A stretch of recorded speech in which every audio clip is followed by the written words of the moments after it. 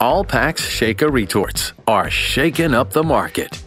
Shaka retorts dramatically reduce process cycle time and allow products to incorporate ingredients that were previously too sensitive to be retorted. This paves the way for new retorted product lines. Rapid reciprocating agitation can result into a 90% cycle time savings compared to static retorts. The result is stovetop quality products with dramatically improved taste, color, and texture compared to conventional retorted foods.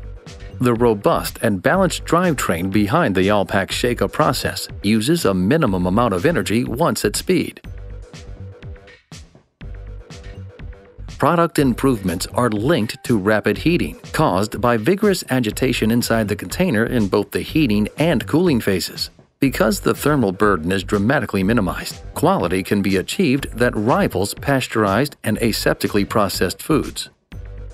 The Allpax Shaka retort can be integrated with automated material handling equipment. With a quick opening door, automated product clamping, and rapid cycle time, a smaller retort can rival the throughput of a multi-basket retort.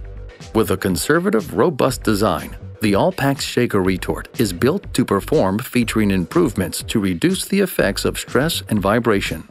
Utilizing specially designed trays, Shaka retorts can process many of the same rigid and flexible packages that a conventional retort uses.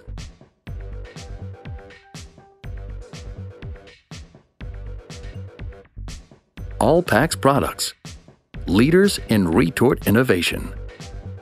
For more information on Shaka retorts, visit Allpax at www.allpax.com.